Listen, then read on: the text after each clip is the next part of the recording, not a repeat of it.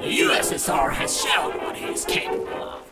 He is strong, he is armed, and he can be a danger to us. So what? You and I also actively participated in the war. Anyway, I suggest that we unite to guarantee the safety of every member of our alliance from war. Or in the case the USSR has something on his mind. Hey guys, what's the meeting you're having? Hey, we decided to come together as a community where everyone would protect each other. Sounds great.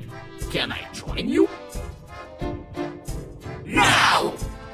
Whatever. Screw it. I don't want to join your stupid club for losers. Hey guys, I want to join you. you won't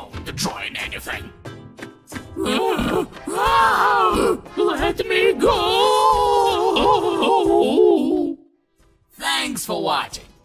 Be sure to like and subscribe. The new video is already on the channel.